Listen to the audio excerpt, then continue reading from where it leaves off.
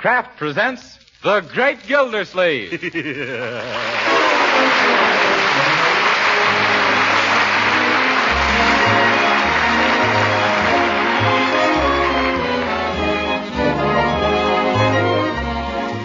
Each week at this time, Kraft presents from Hollywood, California, Harold Peary as The Great Gildersleeve. Written by Leonard L. Levinson.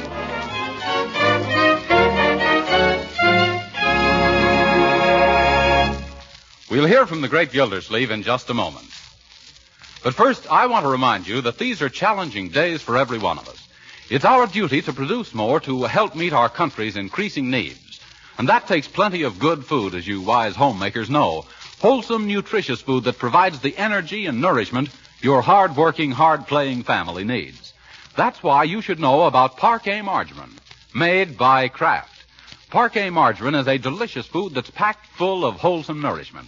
It's one of the best sources of food energy you can serve.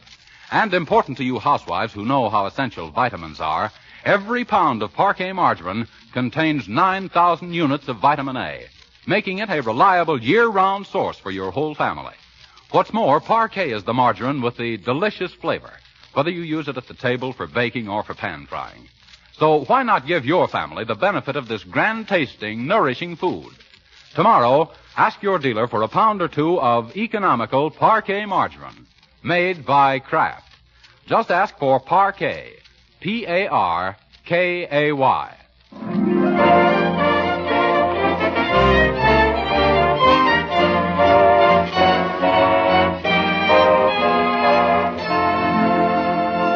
And now let's visit our friend, the great Gildersleeve.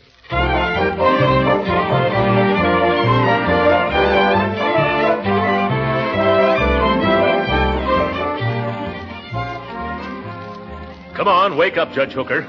Pay attention to your checkers. It's your move. I know it, Gildersleeve. I was merely studying the board. What, with your eyes closed? Let's speed this up. We haven't got all night here. All right. There, there, there, and there. now crown me. I'd love to, but I haven't got anything to do it with. Hooker, I don't see how you keep beating me, honestly. In fact, I don't think you do, honestly. Gildersleeve, you're a pushover. You couldn't win a game from a backward baboon with a dozen checkers up your sleeve. I could too. Uh, I mean, I wouldn't need a dozen checkers. I'll show you, Hooker. Set 'em up again and pull in your belt. Because this time I'm going to beat the hell out of Leroy. How are you tonight? Hi, Uncle Mort. Hello, Judge Hooker. Leroy? Say, Unc, can I? Eh, can you what, Leroy? Well, I hate to keep pestering you about it, but can I see the circus tomorrow afternoon? Not unless they happen to pitch the tent in the front yard of the Peter B. Flugelhammer Junior High School. Is that where you go, Leroy? Yeah, Flugie Junior High. Say, I grew up with Peter B. Flugelhammer Sr. That's who the junior high school was named after. If, well, I thought the school was named after Peter B. Flugelhammer Jr. No, Junior was the son of Senior after whom the junior high school was named. Poor Junior. He never could finish senior high. You. But gee, Uncle Mort, could you call up school and ask if I could skip tomorrow? I did, Leroy. I even went so far as to predict that you wouldn't be feeling very well tomorrow. What did they say? They told me that an excuse for illness while the circus is in town must be accompanied by a note from your doctor. Shucks, that's a heck of a note. Yeah, yes. Well, there's no use grousing, young man. Remember, school must come first. Now sit down and get started with your homework. Yes, Leroy, your homework, that's the thing that's going to count in later life, not going to the circus. I don't think so, Judge. Because in my later life, I expect to be a lion tamer. Oh? You don't need any education for that. All you need is a kitchen chair and the right kind of breakfast food. You... Well, yes. This lion taming is new, though. Last week you were going to become a pitcher with the Brooklyn Dodgers. Oh, that was last week. Oh. Gee, I wouldn't mind missing the circus so much, Uncle Mort, but I hate to see those passes go to waste. Oh, did you get passes, Gildersleeve? Did I get passes? Yes, sir. I've got certain connections. Yeah, Uncle Mort gets the right number of beans in that jar in the drugstore window. Oh.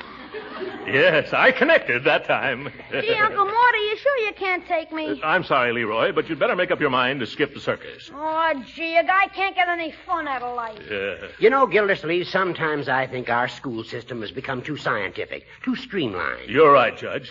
These days, everything is streamlined. Uh, except me. Yes. Things were a lot different in the days when I went to school. what a memory. I sat, I sat next to Petey Flugelhammer. Huh? That was long before he was elected lieutenant governor and then named the school after himself. Oh, We had none of this modern stuff like getting a doctor's prescription to go to the circus. yes. It was the same in my school days, too, Judge. Of course, I'm not as old as you are. What do you mean, Gildersleeve? You were shaving when I was a little shaver. I was not. You were too. All right, all right. I was always taught not to contradict my elders. Eh, Come to think of it, Judge, we kids used to have a lot more fun than modern children have. I can still remember some of the tricks we pulled at school. So do I. Shenanigans, they were called. Yes. I'll never forget the time I dropped a paper bag full of water on the Spanish teacher. Only it turned out to be the new athletic coach. And when he caught me, boy, was he athletic. That's nothing. I once sneaked up behind Miss Pettibone's desk and tacked her dress to the floor. Kids don't do a thing like that these days. Yeah, kids can't do a thing like that these days.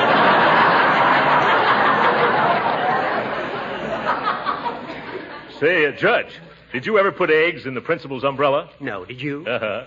I had my own hen and I saved eggs for a rainy day. I can still see him lifting that umbrella over his head. well, I put alum in the water pitcher at our graduation exercises. Oh, that's a peachy stunt. what happened? I didn't graduate. Ah, yes, youth. Sometimes I wish I were a kid again, just so I could pull a few more of those cute little innocent juvenile pranks. Well, they're a thing of the past. Yeah, I never hear of kids doing those things these days. Not enough imagination, I guess. that's right. You know, I remember when a dog and pony show came to our town and all us kids made up our minds to go. You know how we got the afternoon off? No, how? Well, I climbed up on the schoolhouse roof and stuffed my coat into the chimney. Boy, I wish you could have seen that smoke pour in and those kids pour out. Gildy, I'll bet you were hard. oh, that wasn't anything. Did I ever tell you about the time we smuggled the horse up in the bell tower at college? Gee, no, Uncle Mort. Tell us about it. well, I borrowed this. Leroy, I didn't know that you were still here. Sure, you told me to do my homework. Say, did you ever do any homework, Uncle Mort? Uh, stacks of it. Gee, when did you find the time? Didn't it interfere with your jokes? Now see what you've done, Gildersleeve, Given the boy a wrong impression of our childhood. Me? You started it, tacking teachers' skirts to the floor. And you, a Superior Court judge. Aren't you ashamed? Well, how about you, egging the principal on and trying to brain everybody with bags of water? What do you mean, everybody? Just our Spanish teacher, Miss Olafson, that's all. now, Leroy, don't get us wrong. Judge Hooker and I were merely reminiscing about an era that doesn't exist anymore. I'll say it doesn't. You couldn't get away with those corny gags today. Those gags weren't corny, Leroy. They were mighty clever. huh?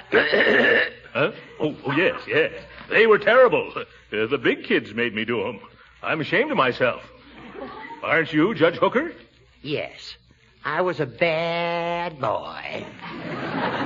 You, you see, Leroy? Gee, you two treat me as if I was 12 years old. You are 12 years old, Leroy. Sure, I know it, but I don't like to be treated that way. You...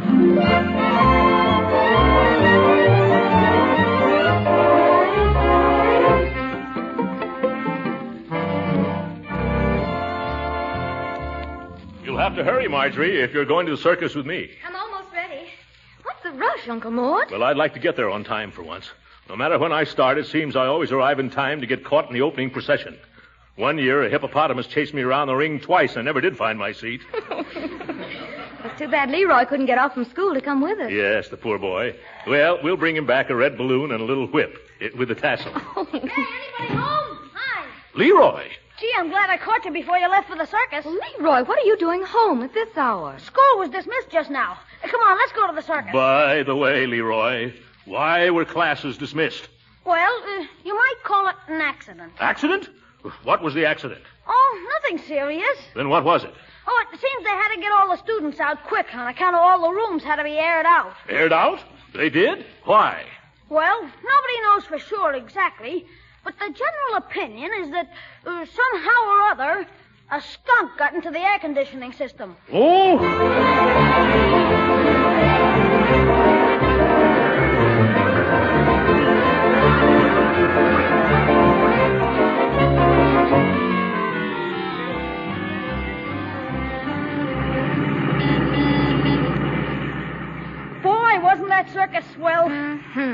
Best I've ever seen. How did you like the fellow who did the swan dive into the tank of burning gasoline, Uncle Mort? I liked him, but I don't think Secretary Ickes would. Leroy, there's something that's been troubling me. Uh, It's that skunk in your school. You mean Mr. Proctor, the principal? No, Leroy. the one that got into the air conditioning system. Do you happen to know how it got in there? No, I don't. Say, remember the tiger that rode on the elephant's back? How did they train him to do that, Uncle Mort? Oh, with kindness, I suppose. Uh, Leroy, did you happen to have anything to do with it? With the tiger, Uncle Mort? No, the skunk. That wasn't a skunk, Uncle. It was a tiger. Tigers and skunks have different kinds of stripes. I know they have. I'm talking about school. But you know, I've been thinking. Isn't it a strange coincidence that this accident occurred on the day the circus came to town? Yeah, funny, ain't it? Uh, Say, Uncle Mort, what do you think would happen if when the lion tamer had his head in the lion's mouth, the lion suddenly had a sneeze? well, I don't think anyone would say gesundheit. now, Leroy, I hope that nothing Judge Hooker and I said about our school day pranks caused you to try to imitate us. Oh, no, sir. You understand we were just talking about old times. Yes, sir, like Judge Hooker says. That's about all you old timers have got left. Your memory. Yeah. What did you say?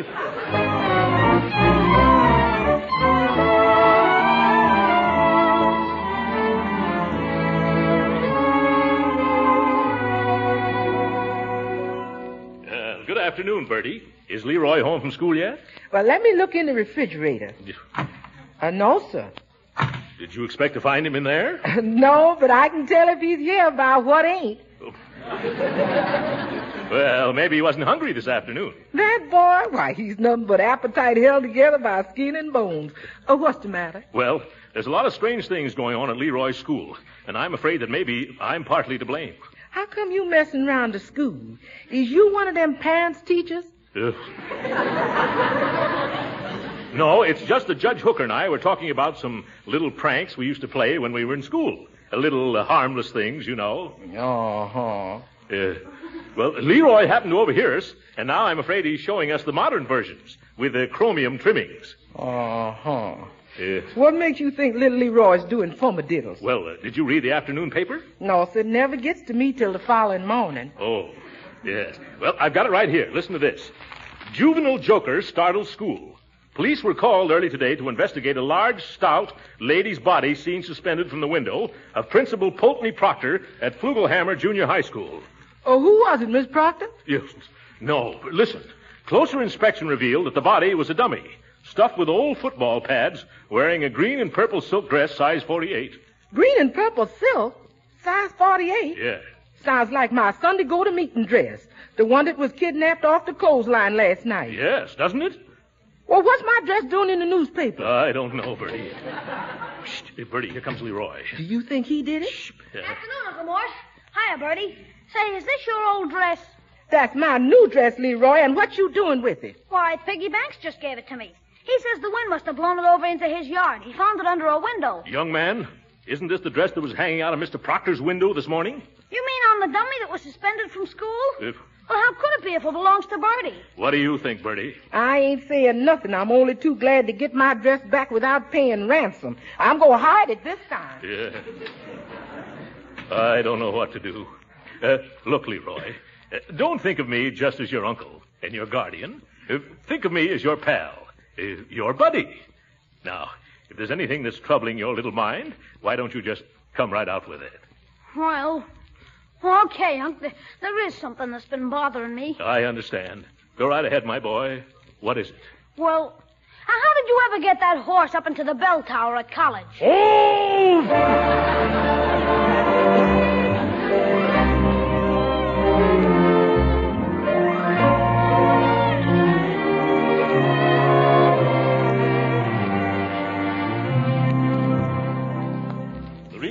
You to come here tonight, Judge Hooker, is because you and I are turning Leroy's school topsy-turvy. Why, I haven't been near the place. We've been doing it by remote control. Remember how we shot off our mouths in front of Leroy about our school day monkey shines? Yes, and say, I just remembered another one. Forget it. Leroy's been up to all our old tricks. Oh, his teachers have caught him, huh? No, that kid's smarter than we were. But we got to stop him from going on with him. Well, maybe if I gave him a little lecture. Hooker, you don't understand children. That wouldn't work at all. We've got to pretend we don't know what's going on. That shouldn't be hard for you to do. When Leroy comes in, that'll be our cue to start casually chatting about the evils of practical joking. Yeah. Yeah, subtle propaganda, you know. How about it, Hooker? We can try it. Too bad this whole thing had to happen. You know, Gildersleeve, it would never have started if you hadn't opened your fat face. Me? Why, it was you that started it, you little travesty on justice. Is that so? Why, Gildersleeve, if you had the intelligence of a jackass. Uh, but no, why should I daydream? There's no use arguing with you. Why not? Because I don't argue with blubberheads. Well, I do, you blubberhead. Just because you're a judge, do you think? No, I can answer that myself. You don't think. Don't you provoke me, you big wad of wind. Oh, that settles it. I'm going to lambaste you with. Oh, excuse me. I didn't think. Oh, uh, oh, come right in, Leroy. I was, uh, I was just telling Judge Hooker how to uh, baste a lamb, wasn't I, Judge Hooker? Huh? Oh, yes, Yeah. yes. Don't let us disturb you, Leroy, my boy. Go right ahead and do your homework. Just pay no attention to us. I won't. Uh, yes. As we were saying, Judge, uh, don't you think that juvenile delinquency often starts with some innocent boyish prank? When were we saying that?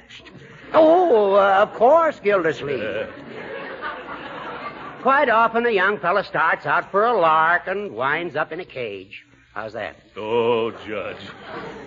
Then you think that uh, practical joking can lead to uh, serious consequences? Surely. Yeah. It starts out with a fellow dipping girls' pigtails into inkwells, and then he becomes bored with that and puts firecrackers in the coal scuttle. Yes. Or water in the teacher's galoshes, and then setting them out to freeze. Never heard of that one before. Huh? That's only good in real cold weather. Well, in summertime, you can always put flypaper on all the chairs. Yes. With the words kick me printed on the back. Say, I did that when I was in fourth grade. You should have seen the fun at recess. You know, I used to hunt for frogs during recess and put them all in the lunchboxes. Once I made a mistake and put one in my own lunchbox. Did I tell you about the time that I snagged our principal's wig with a fish pole and then hoisted it to the top of the flagpole? oh, boy. I wish I could have seen. Oh, my goodness. What have we been saying? Huh? Leroy, don't you pay any attention to this old. Go- uh, say, where is Leroy? I don't know. You said pretend he wasn't here, and by George, he isn't. Yes, and a lucky thing, too. How did we ever get started talking like that again? I remember distinctly. You began it, Gildersleeve. Me? Why, you feeble little fuddle-headed fuddy-duddy. Smile when you say that, Gildersleeve. Smile? I'll laugh right out loud.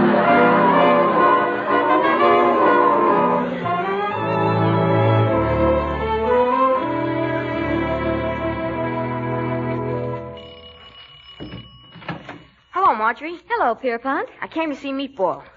Who? Meatball. You know, Leroy. Only he don't like us kids to call him Leroy anymore. Like I don't like to be called Pierpont. All right, Piggy. Come on in. Oh, Leroy, Piggy Banks is here to see you. Come on to the library, Pig. It's right that way. Thanks. Well, come on in. Don't be bashful. But your uncle, that's him behind that newspaper, ain't it? What's the matter with him? Oh, nothing. He always does that after dinner.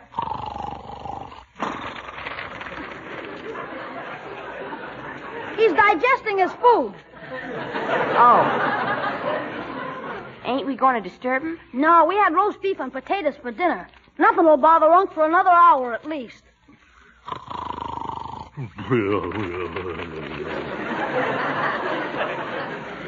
Now, let's get going on that history stuff. Well, I know Miss Keller's going to ask us about the vice presidents tomorrow. Are you sure? Sure, I'm sure. She's going through the book exactly the way she did last year, the first time I took the course. Okay, I, I think I got it memorized. But is she going to ask us the names of all the vice presidents? She did last year.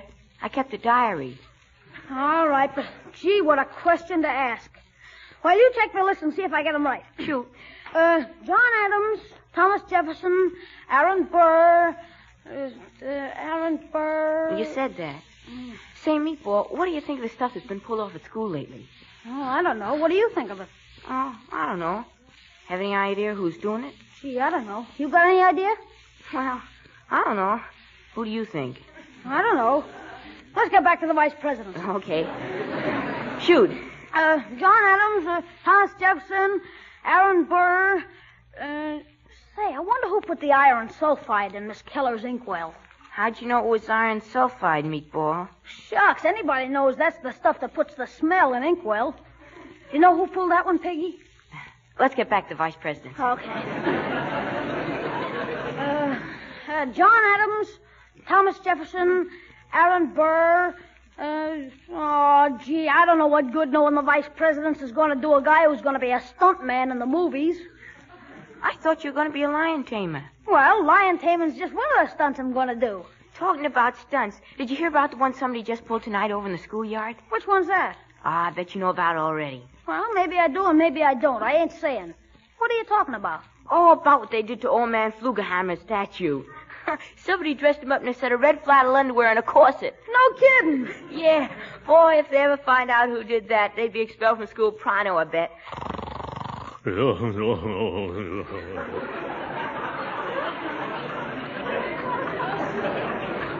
Let's get on with the vice president's pig. All right. Say, could I borrow a glass of water? We had corned beef for dinner. Sure. Come on out in the kitchen. I'll get it for you. Boy, wait till Mr. Proctor sees the willies on Flugie. Uh, did I hear right? Red flannels and a corset on Flugie? Or was I just dreaming? No. There's Piggy Banks's hat. It's true. Oh, let me think. Yes, that's what I'll have to do. Yes, six. Hooker's just as much to blame as I am. I can't let Leroy be expelled. Hello, Judge. This is Gildersleeve. You gotta help me with something. I can't explain now, but I'll pick you up in about ten minutes. We got a date with an old schoolmate of yours.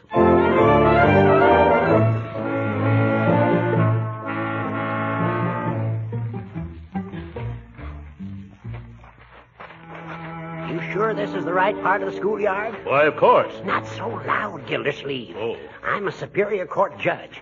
Can you picture what would happen if I'm caught? Yes, scandalous, isn't it?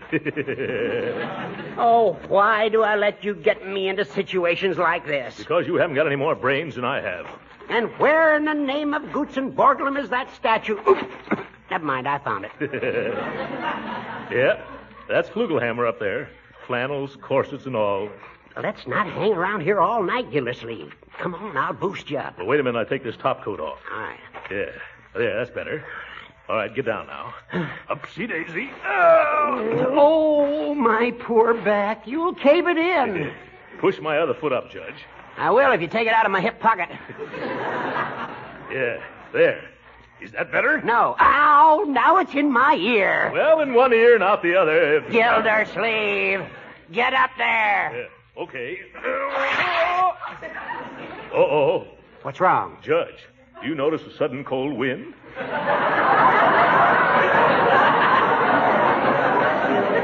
No, can't say that I do.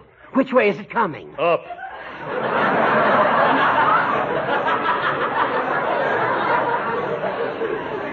Uh, Judge, hold my feet so I won't fall. I got him, I got him. You're all right, solid as a rock. No, no, you're holding Pete's feet. What? The flat-footed Flugelhammer. Yeah, that's better. Now I can get to work. I wonder where Leroy ever found this corset. Make it snappy, Gildersleeve. Who do you think you are, Gypsy Rose Lee? Yep.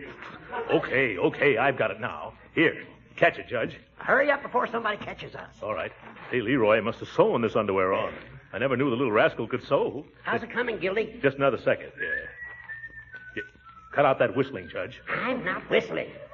That must be the night watchman. Oh. Come on, rip it off. Let's scram. Okay, head for the car, Judge.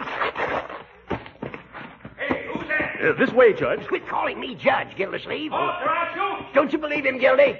Oh! Scatter, Judge, scatter! I'll meet you at the drugstore.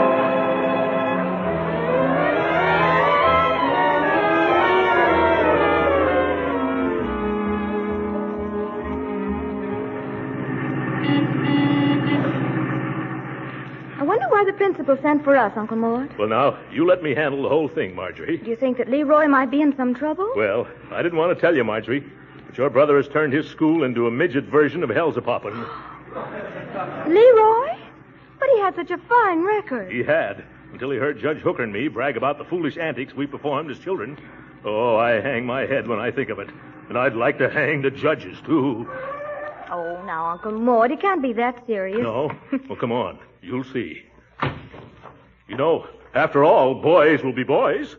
Leroy is just a bit high spirited. And what's wrong with that, sir? You were a boy once yourself, weren't you? Me? No. Uh, I was talking to the principal. Rehearsing, I mean. After you, my dear. Yes. Look at George Washington and the cherry tree. Just high spirits? Washington was a boy, too. We were all boys. Uncle, are you all right? Of course I am. No, no, I'm not. It's been a long, long time since I was called to the principal's office, but I still get that old feeling. Me too. Yeah. Well, brace up, Uncle Mort. Here we are. Okay, let's go in. Hope he doesn't make us stay after school, Marjorie. Uh, Mr. Proctor? Yes? Uh, I'm Leroy Forrester's uncle, and this is his sister, Marjorie. Well, I'm glad to see you two.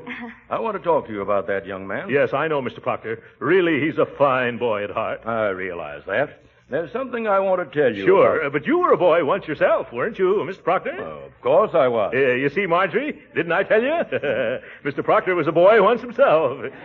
Probably high spirited, too. Surely. Now about your nephew. I hope you're not going to be harsh with him. But why should I be, Mr. Forrester? Uh, excuse me, my name's Gildersleeve, Throckmorton P. Gildersleeve. Glad to meet you, Mr. G- Did you say Gildersleeve? Yes, did I say something wrong? That happens to be my name. And does that happen to be your top coat hanging on that hook? Where?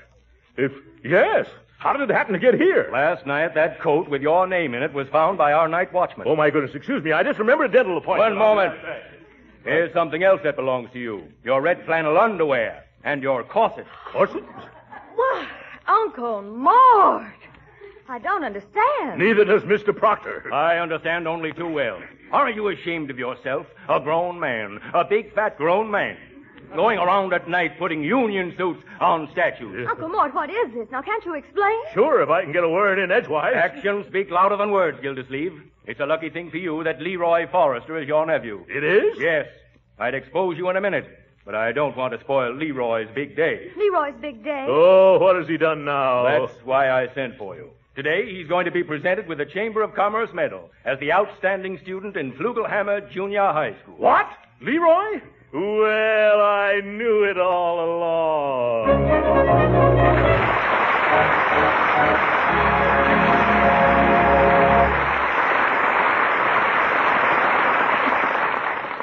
great Gildersleeve will be with us again in a few minutes.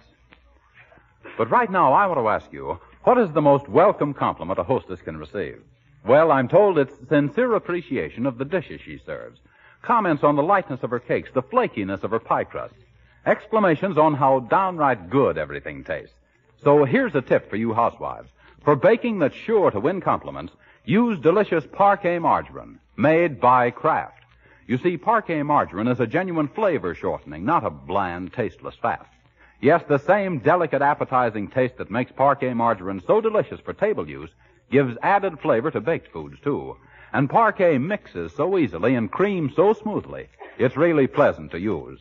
Remember, too, that Parkay margarine's flavor makes pan-fried foods taste better, and it doesn't spatter or stick to the pan. And whether you serve delicious Parkay margarine at the table or use it for cooking, you are giving your family a nutritious, wholesome energy food.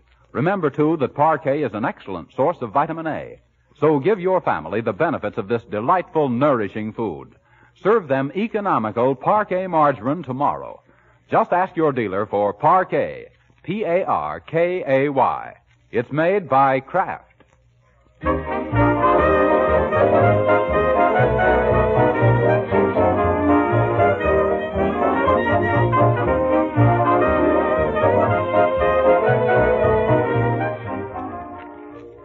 That's a beautiful medal, Leroy, and I'm mighty proud of you.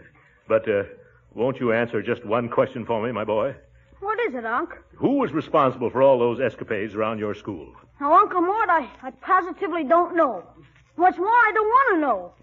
And then even if I did know, you don't think I'd squeal on my pal Piggy, do you? Uh, you're a bright boy, Leroy. Good night.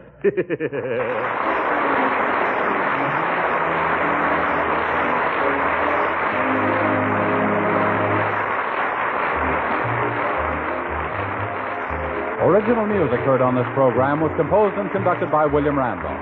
This is Jim Bannon speaking for the Kraft Cheese Company and inviting you to be with us again next week at this same time for the further adventures of the Great Gildersleeve. This is the National Broadcasting Company.